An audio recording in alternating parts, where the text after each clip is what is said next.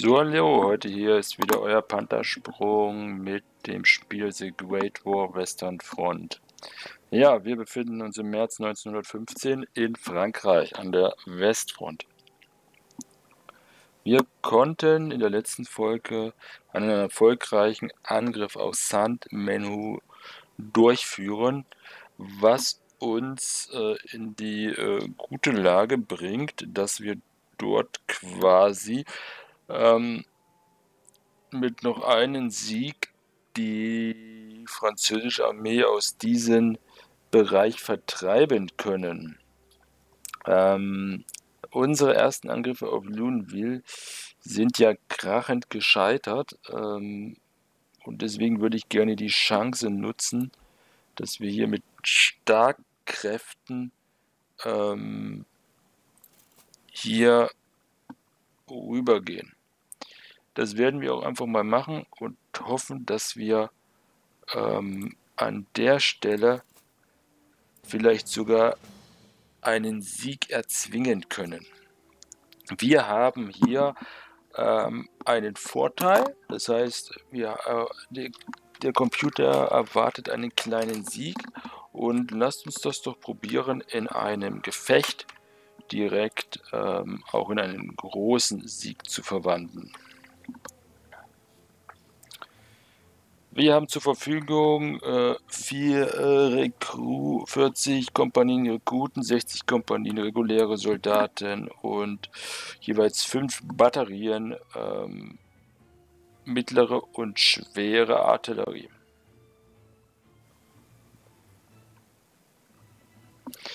So, auf diesem Gefechtsfeld von Stenay nach Saint-Menot waren wir noch nicht.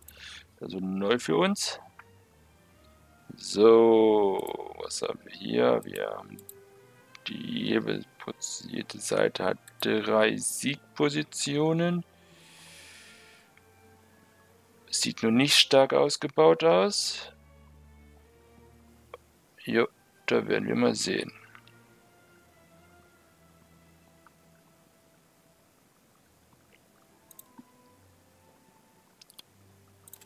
Was wir zwingend, also was ich zwingend benötige für meine Strategie ist einen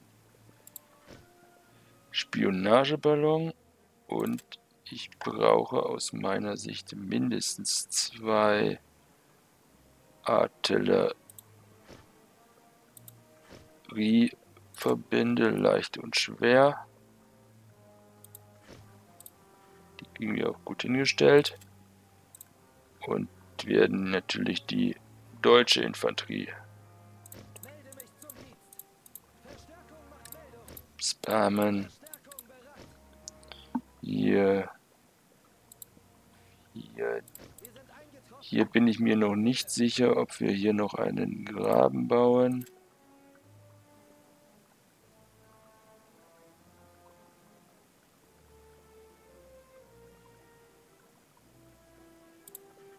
Würde hier einen Graben bauen und ich würde vielleicht hier sogar mal ein, das habe ich bis jetzt eher selten gemacht, ein MG positionieren. Das ist jetzt vielleicht übertrieben.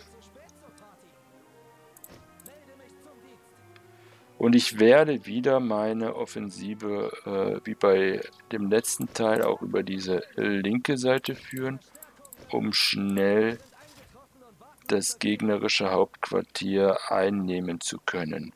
Ich würde sagen, dann lasst uns dann einfach mal in die Schlacht gehen. Wohlstand lässt sich nur durch Frieden erreichen, sagt der Paul von Hindenburg.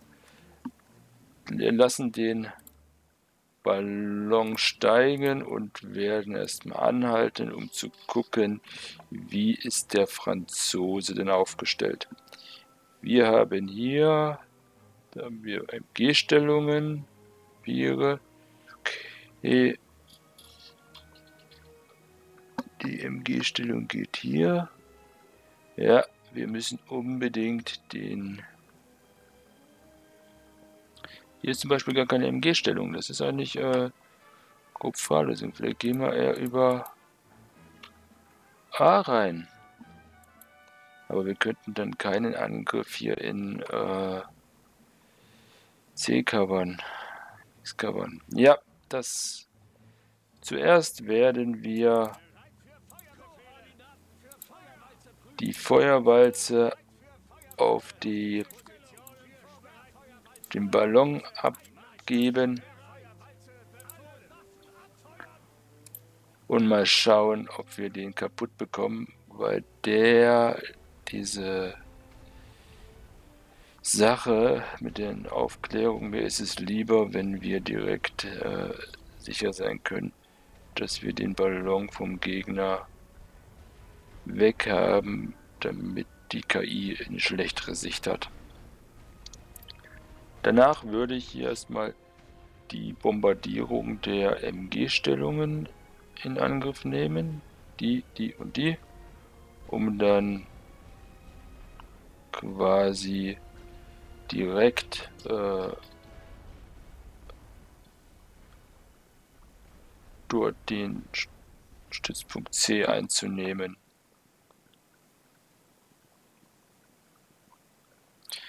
Obwohl ich immer noch ein wenig struggle, ist C das Richtige oder gehen wir lieber über A rein?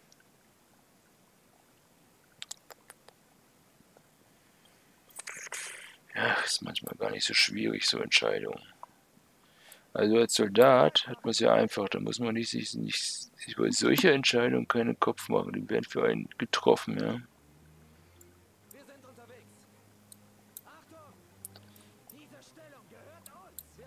So, dann werden wir mal schauen, wann die große Artillerie wieder da ist.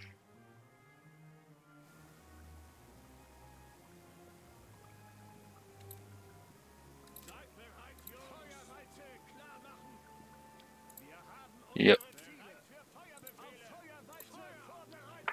Ich denke, hier müssen wir aufpassen, dadurch, dass wir diesmal weniger Artillerie mit, mit haben.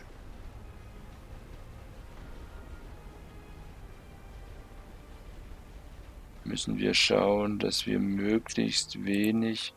Also ich muss hier definitiv... Äh, möchte ich Artillerie, also MGs rausnehmen um halt wirklich zumindest die erste Linie relativ einfach blockieren zu können.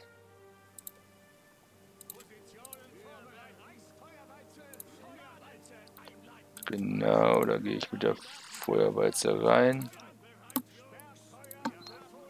Genau, und ich denke, diese hintere Reihen, die kann ich mit einem eine Artillerie, zweite Artillerie, dritte Artillerie. Die kann ich mit vier Artillerien unterdrücken.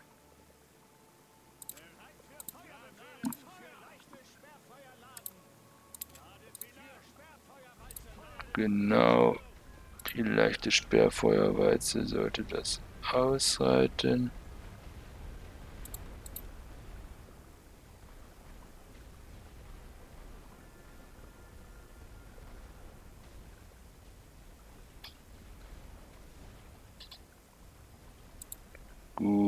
Dann machen wir noch mal mit der Sperrfeuerwalze hier weiter. Nein, mit einer, die schwere Artillerie, dann machen wir die fertig.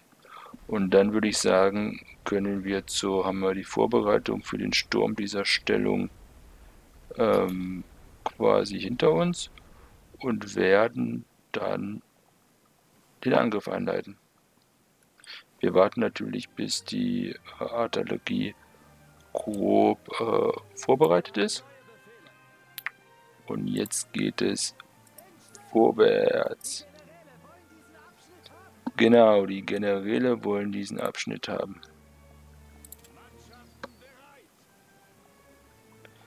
Ich werde abwarten, bis wir dort etwa in den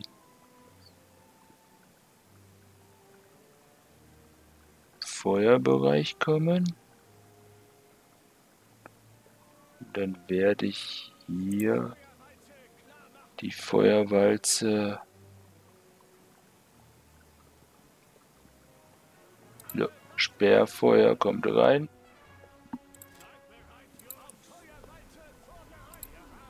Ja, und jetzt werden die Sperrfeuer da rein.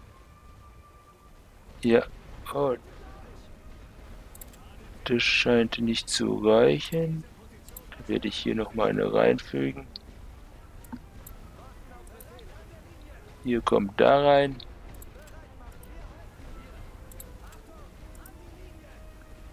So. Jetzt sind wir zumindest so weit, dass die meisten unterdrückt sind.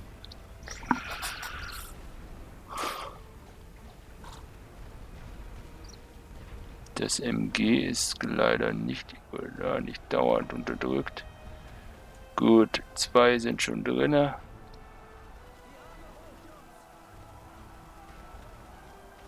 So.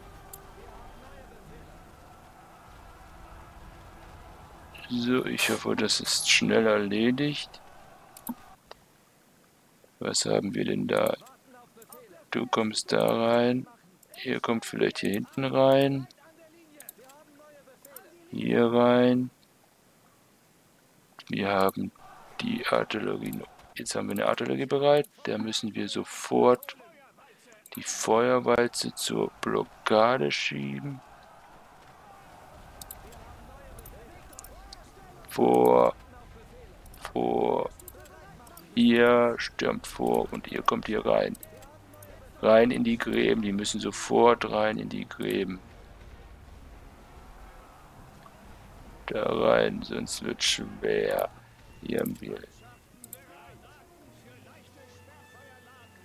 Sperrfeuer, genau. Das hilft nicht. Ich möchte mich nicht ergeben.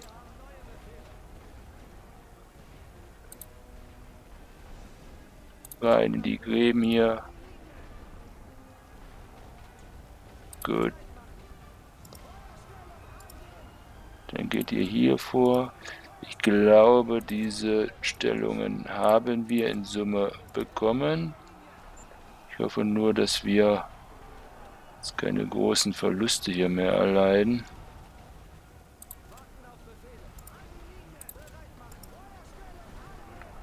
Gut. Rein in den Gräben.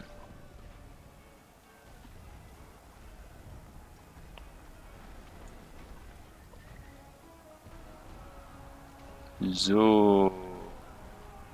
Das ist doch... Das ist doch ganz gut.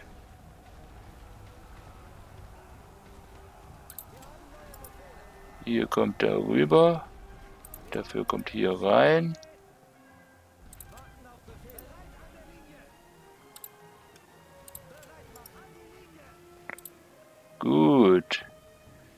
So, jetzt ist doch eigentlich der Bereich unserer.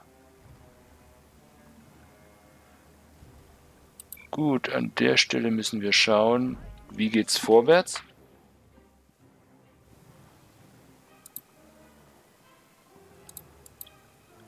Wir haben hier keinen Angriffsversuch vom Gegner bekommen. Ich werde die Truppen erstmal leicht schwächen. Wir haben auch vier Korps verloren. Die, diese ganz schwachen würde ich auch erstmal zurückziehen lassen und neue ausge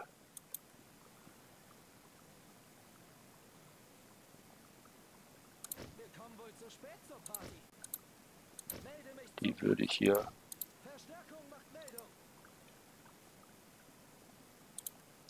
zumindest, dass die Gräben voll sind. Gut, da scheint jetzt die Truppen zu kommen. Das ist gut.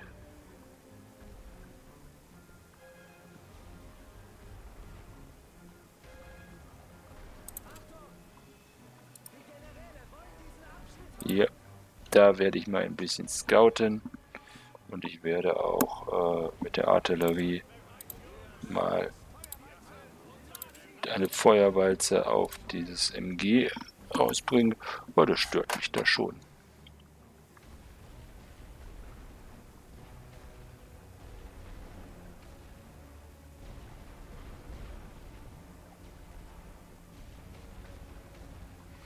Gut, äh, wie ist die Gesamtsituation? Wir haben keine, der Gegner hat bis jetzt keine Offensivbemühungen gezeigt. Das ist, ich weiß nicht, ob das gut oder schlecht ist, kann alles noch kommen. Er sieht eigentlich ziemlich stark aus. Und ähm,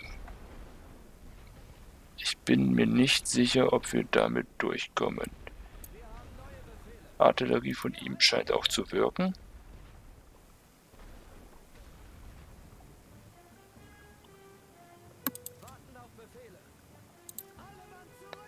Ist aber auch kein Problem, weil ich die dann auch zu mich zurückziehen lassen würde. Und werde äh, mal versuchen, ein bisschen zu scouten, ob ich dort die Artillerie oder ähnliches sehe. Vielleicht ist ja das äh, die Möglichkeit, hier oben rein in den Graben zu kommen. Das ist natürlich äh, ich will nicht sagen ideal, aber vielleicht ist das eine Möglichkeit, um den Gegner doch ein wenig von der Seite zu überraschen, um schnell in den Grabenkampf zu kommen.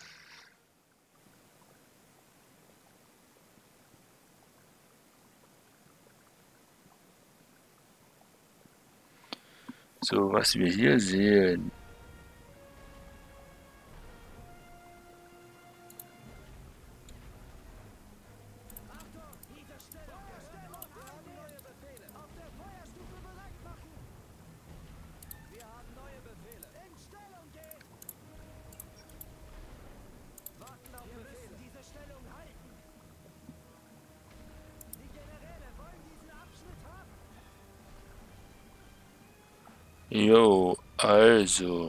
ich ganz klar sagen,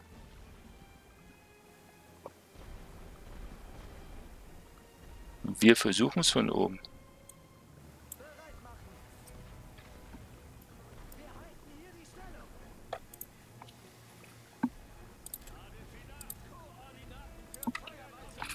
Da werde ich die Feuerwalze angeben und ich werde hier äh, dann die Blockade von vornehmen von der Artillerie, dann kommen wir in den Befehlsgraben rein. Von der Seite. Das MG schalten wir aus.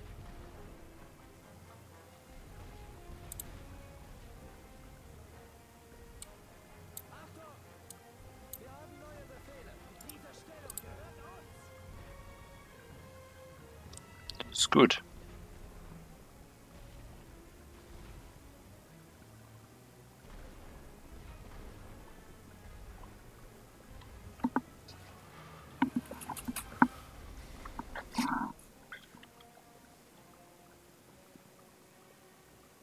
Das ist gut.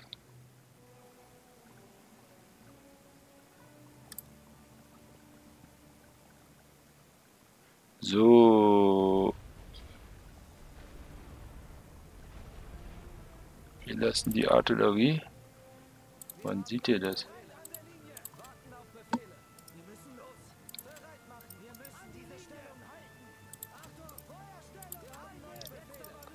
Ja. So, dass die das... Woher ahnen die das? Das weiß ich nicht. Ich meine, man kann ahnen, dass man mal Truppen da lang zieht, aber nicht in dem Maße. Gut. Dann, ihr seid dran. Gut, jetzt werde ich erstmal schauen, dass wir mit der leichten Artillerie die beiden möglichen blockiert.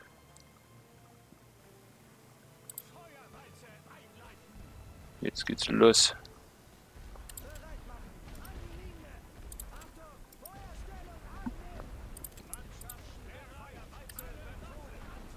Da sind ja auch welche drin. Aber nicht so schlimm. Dann kommt ihr hier rein. Ja, und hier unten kommen die rein.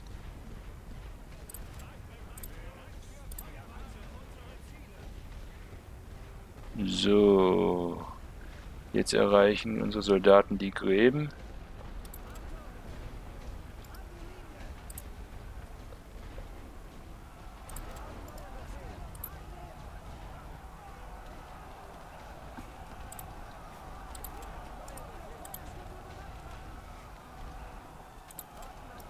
Hier rein.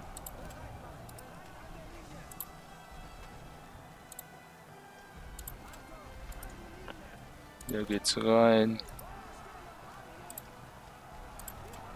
Ja. Da gibt's Sperrfeuer.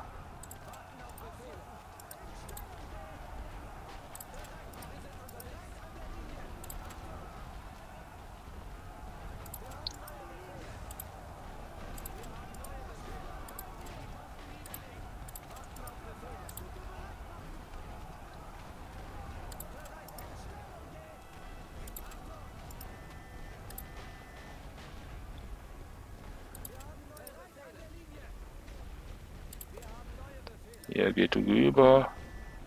Es geht ja in dem Graben. So.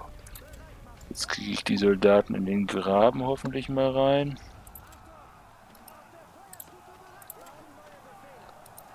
Hier auch einen Angriff durchführen. So. Die werden wir auch feuern. Und die jetzt... Da geht's vorwärts. Hier müssen wir nachschärfen. Das möchte ich eigentlich nicht hören. Wir geben uns.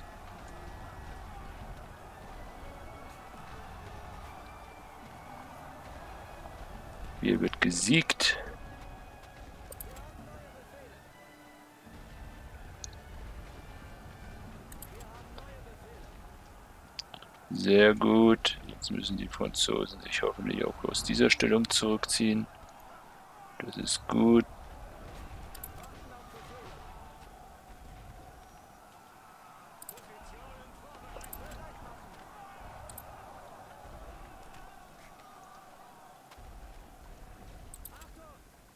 So, hier geht's rein für die Truppen. Wir haben genau Jetzt können wir hoffentlich die Artillerie uns vornehmen.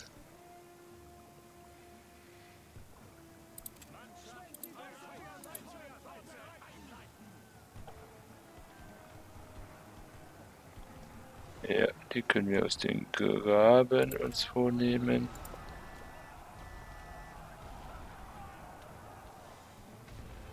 So, sehr gut. Ah, okay. Jetzt kommt hoffentlich das zweite.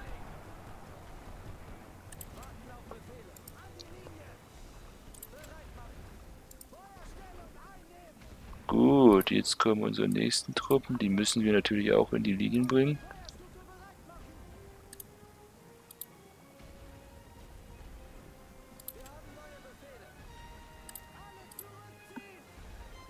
So, wie sieht's hier aus? Ah, da kommen ja viele Truppen rein. Jetzt bitte schnell hier. Sperrfeuer machen wir. Hier können leichtes oder Sperrfeuer, da möchte ich mal richtiges Sperrfeuer haben.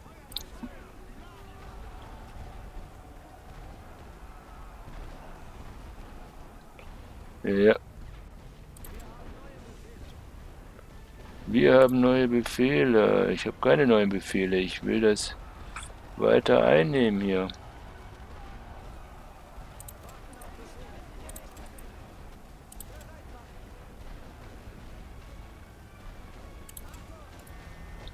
So, wir müssen die Guten hier rüberziehen.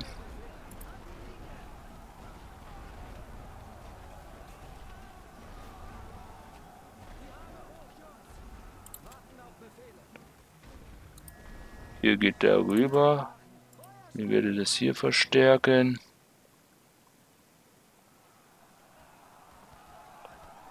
Ja. ja das ist Nicht wieder ein Gemetzel. Wir ergeben uns, das möchte ich nicht hören. Kämpft bis zum letzten Mann.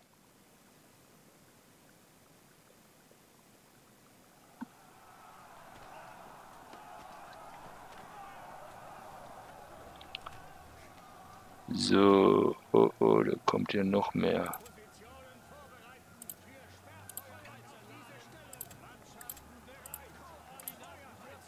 Ja,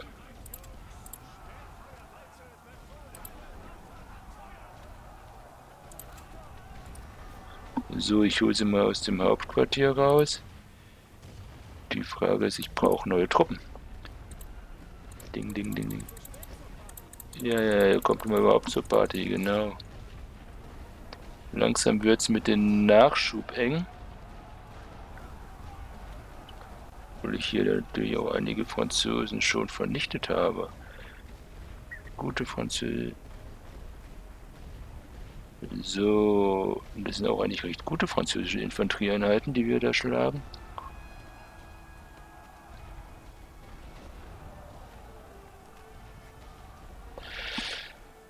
So. Ich brauche unbedingt Verstärkung hier. Die Truppen, die brauchen noch lange, bis sie hier antreffen. Ja. Da brauche ich Sperrfeuer. Ich hoffe, dass wir da wenigstens einige von den vorher wegnehmen, bevor die in den Graben kommen. Das wird ein, eine arschenge Geschichte.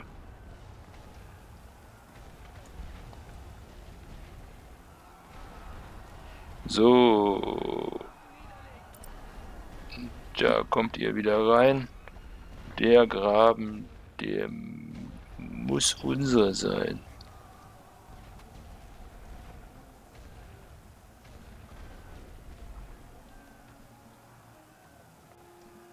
Gut. So, kommen die denn langsamer? Ihr seid auch nicht die schnellsten, ja?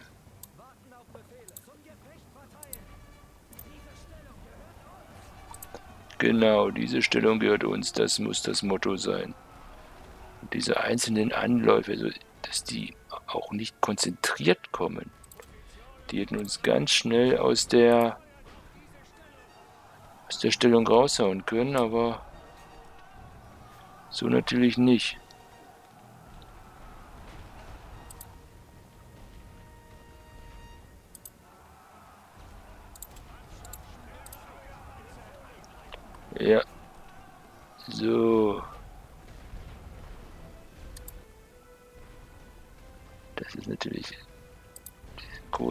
Truppen, die hier langlaufen, ist natürlich auch schlecht. So, halten wir die auf. Wieder Grabenkampf.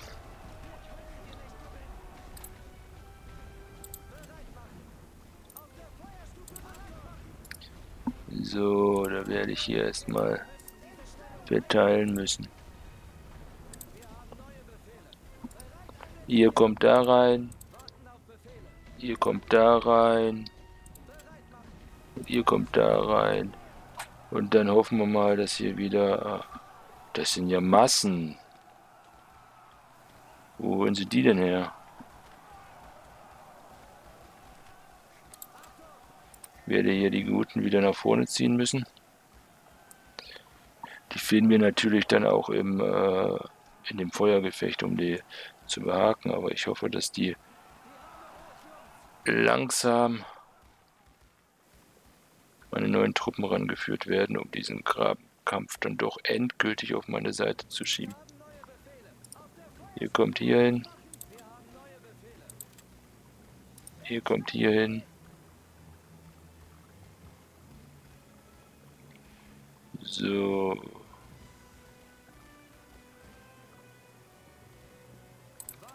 Ihr kommt hier rein.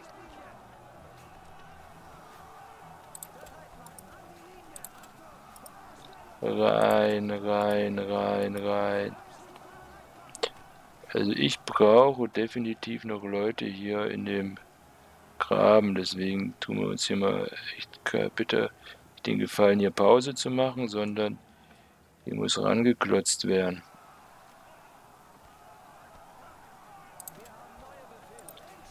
So, hier geht's. Oh, dann geht ihr hier rein. Ja. Ich habe hier noch genug Platz in dem Graben. Da müsst ihr euch nicht so äh, verstecken, ja.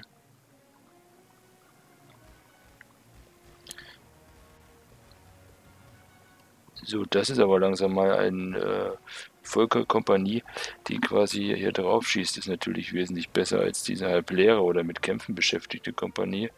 Und jetzt habe ich noch ähm, die Reserve da drin. Ähm, das sollte wohl funktionieren.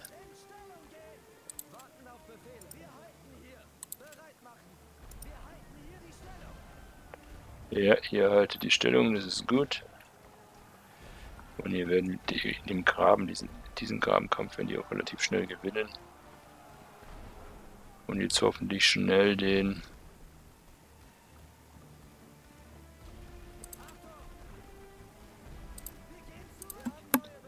Ja, ihr geht zurück. Da werden wir nämlich eine volle Truppe ranführen, die hoffentlich das Ding besser rockt. Die Feuerwalze Genau. Und dann werden wir mal schauen, dass wir die Artillerie rausnehmen.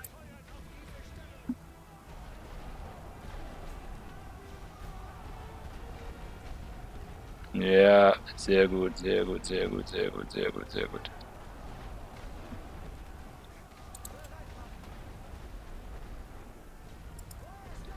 Ja, sehr gut. Hier geht's rein.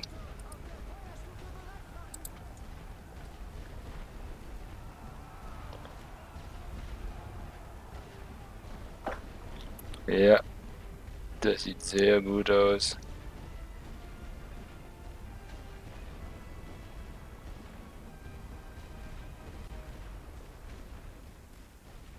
Das ist nur eine Kompanie, die muss ausgeschalten werden. Das, kann, das könnte nicht sein, dass die durchkommt. Wird aus allen möglichen Löchern geschossen. Die sind eigentlich schon so demontiert demotiviert für den Grabenkampf. Die könnten, dürften eigentlich gar nicht, gar nicht lange überleben. So, wo sind wir? Es hat sich eigentlich gar nicht viel verändert. Wir sind immer noch das Hauptquartier eingenommen vom Gegner, haben halt quasi jetzt vielleicht einen leichten Sieg. Wenn ich die Artillerie auseinandernehme, müsste der Sieg eigentlich noch mal ein Stück besser werden. Also höherwertiger werden. Die Frage ist, ob sich ein weiterer Angriff ähm, lohnt. Aus meiner Sicht komme ich hier nicht richtig weiter vor. Also nicht ohne riesigen Verluste. Das würde, ich denke mal, uns sehr wehtun.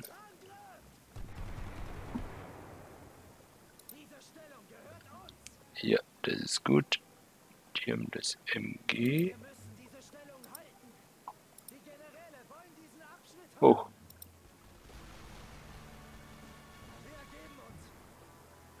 Ja, also das ist auch nicht einfach zu nehmen. Ich würde sagen, da machen wir für heute erstmal das Feuer einstellen. Ich denke, wir haben, wir hätten hier keinen großen Sieg errungen. Jedenfalls nicht unter dem Material, was wir hier ähm, aufgeboten hätten müssen. Wir haben einen wichtigen Sieg errungen. Auch wichtig zu sehen, also wir haben äh, Auffüllungskosten von 740, der Gegner hat 1200. Wir haben 6000 Soldaten und 10 Artillerieeinheiten dem Gegner beigebracht. Und äh, der Gegner hat uns gerade mal 5000 Soldaten gekostet. Und deswegen, das ist, äh, das ist gut. In Summe, äh, in Summe hätte ich gesagt, äh, ist das schon ein Sieg. Er wird uns nur nicht viel bringen.